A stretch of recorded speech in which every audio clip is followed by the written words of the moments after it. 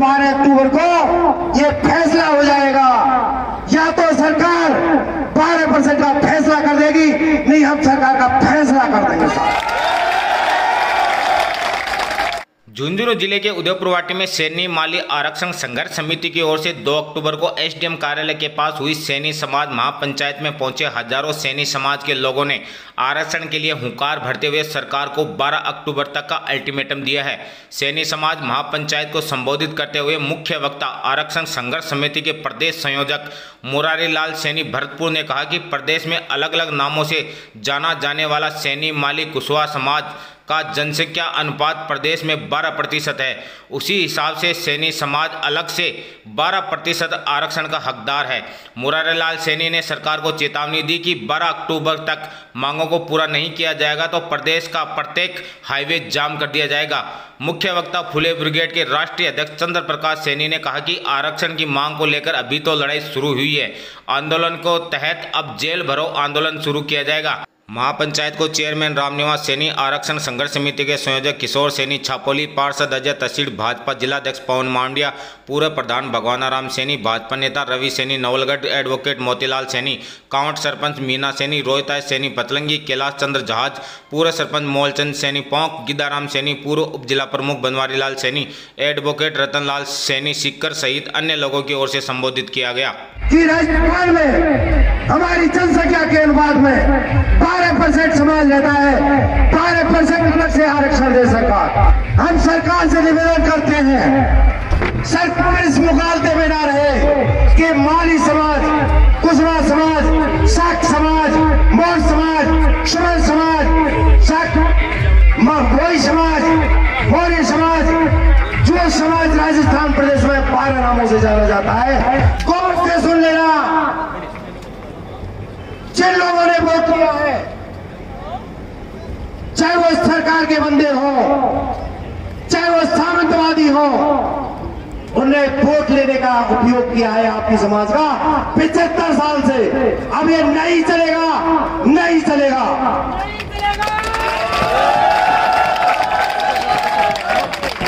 साथियों, अभी मैं आपको एक और निवेदन करना चाहता हूँ कि कल अजमेर ज़िले की प्यावर तहसील में एक महासभा हुई है, मीटिंग हुई है पूरे ज़िले की। और उसमें यह तय हुआ है कि राजस्थान प्रदेश के जो तैतीस जिलों के समाज को कड़ी से कड़ी जोड़ने का हमारी आपके सहयोग से फूले आरक्षण संघर्ष के कार्यकर्ताओं ने और समाज के सभी नेताओं ने जो जोड़ने का काम किया उस सभी को, उनके पंच पटेलों को प्यावर तहसील बारह अक्टूबर को बुलाया गया है। बारह अक्टूबर को। कौन सी तारीख को बुलाया गया है। बारह अक्टूबर को। और 12 अक्टूबर को ये फैसला हो जाएगा। या तो सरकार 12 परसेंट का देगी नहीं, हम सरकार का फैसला कर देंगे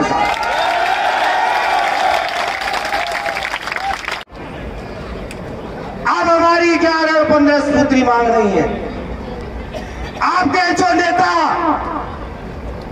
पचास मांग लिख देंगे, सौ मांग लिख देंगे, हम लेकर रहेंगे। चाहे सूर्या इधर उड़िया में साथियों, ध्यान रखना। आप इतने कमज़ोर नहीं है, जितना कमज़ोर आप बनना चाहते हो। एक दिन में,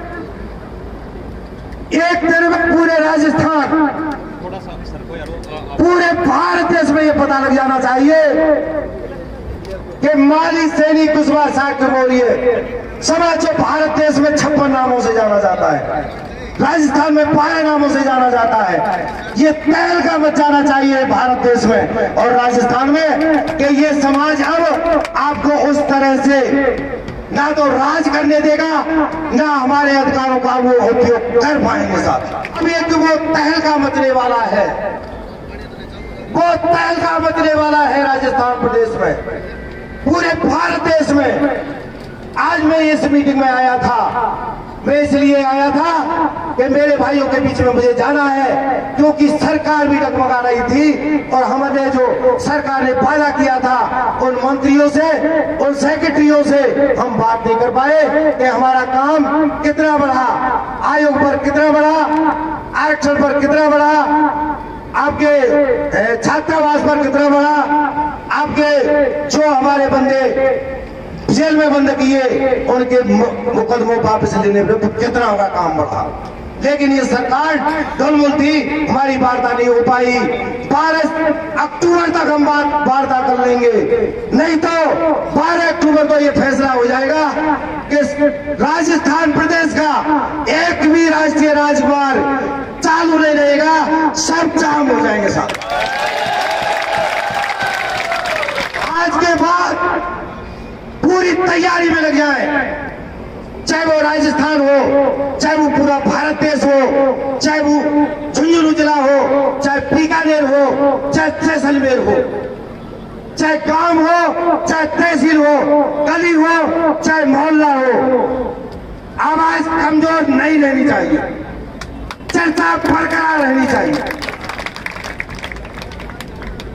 एक भी एक। ज़िले में मैं पूरे राजस्थान प्रदेश के सभी नामों से जाने जाने वाली समाज से, पूरे तहसीलों से, सब कामों से कहना चाहता हूँ।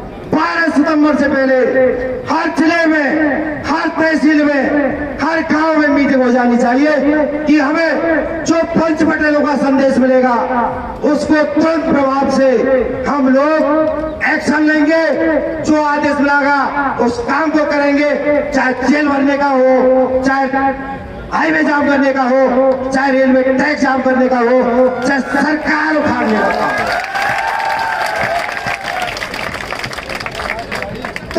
तैयारी हमको कम नहीं करनी है। बदस्तूर तैयारी लगातार बढ़ती रहनी चाहिए, कम नहीं होनी चाहिए। ये ये बाबा साहब कह रहे हैं कि मुरारी और सीपी एक हो। जाइए मैं राजस्थान प्रदेश में इस समाज के सहयोग से, उन्होंने जैसे नाम से मुझे नवाजा, मुझे कहा, आप संयोजक के पद पर काम करेंगे। साथियों, राजस्थान प्रदेश की समाज ने सीपी को इस फूले आरक्षण संघर्ष समिति का राजस्थान प्रदेश का अध्यक्ष बनाया था। साथियों, हमारा कोई अलग अलग काम नहीं है। मैं समाज के भाइयों से निवेदन करना चाहूँगा, क्योंकि आज भी कोई तरीका चल रहा है। आपके देखा होगा, जिन लोगों ने वोट दिया है हमारा, वो चाबी देने का काम कर रहे हैं। हमारे समाज के नेताओं में चाबी देने का काम कर रहे हैं। सीपी अलग काम कर रहा है, मुरारी अलग काम कर रहा है। राजस्थान प्रदेश में माली सैनी साक्य कुशवा मौर्य तो बारह नामों से ये समाज जाना जाता है, जिसमें एक भी बंदा अलग नहीं है, सब मिलके काम कर रहे हैं साहब साथियों ये बिल्कुल समझ लेना आप, कोई अलग नहीं है। ये समाज के लिए जो काम किया था, सबसे पहला काम था कि अत्याचार, अन्याय, दुराचार, बेईमानी जो इस समाज के साथ होती थी, हमने इसलिए इस समाज को राजस्थान प्रदेश में कड़ी से कोड़ी छोड़ने का काम किया। हम चाहते थे, जिस दिन ये समाज राजस्थान में कड़ी से कड़ी जुड़ जाएगा, उस दिन इसके साथ बेईमानी करने वाले अन्याय करने वाले दुराचार करने वाले बेईमानी करने वाले बगल काट जाएँगे साथ ही और आज वो स्थिति है राजस्थान में कि आपके सामने टिकने वाला जो अत्याचारी बेईमानी जो सामंतवादी जो राजनीतिक बेईमान लोग थे वो आपके सामने टेक नहीं पाएँगे साहब टिकने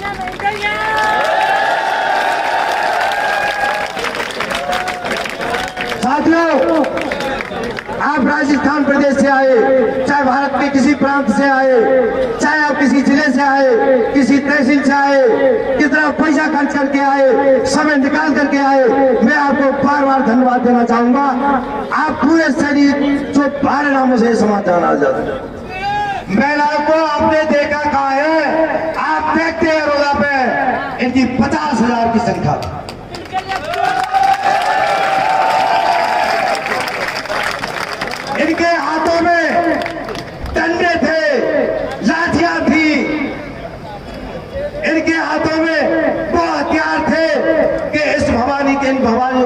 सामने यदि कोई सरकार की फोर्स भी आ जाती तो टेक नहीं वापिस आती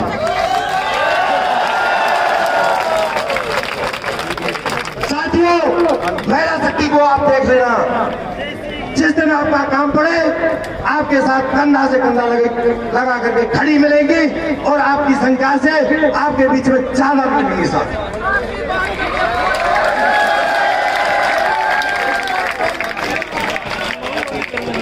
साथियों, आप आए, ऐसा है, आपको पूरा दिन हो गया, आपको जाना भी है। मैं दोबारा से जो इस समारोह की जो आयोग कमेटी है, मैं उसको बार बार धन्यवाद देना चाहूँगा। धन्य ऐसे वीरों के लिए ऐसे ऐसे सम्राट अशोक के शेरों के लिए जिन्होंने इस तरह से समाज के खानदान को बढ़वा दिया मेहनत करके उनकी मेहनत के लिए बार बार धन्यवाद देना चाहूँगा।